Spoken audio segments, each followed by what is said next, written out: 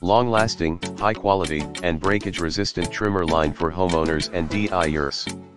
The .080-inch diameter trimmer line is the perfect size for smaller jobs like trimming grass and removing seasonal weeds fits most standard trimmer heads, including fixed line, semi, and automatic bump feed heads, fits most gas, electric, and battery-powered curved and straight shaft trimmers. Fits many popular string trimmer models including, but not limited to Stihl FS45 and FS40C, do DeWalt DCST920P1 and DCST970X1, Ryobi RE40220, Greenworks 21362 impact resistant for stronger performance.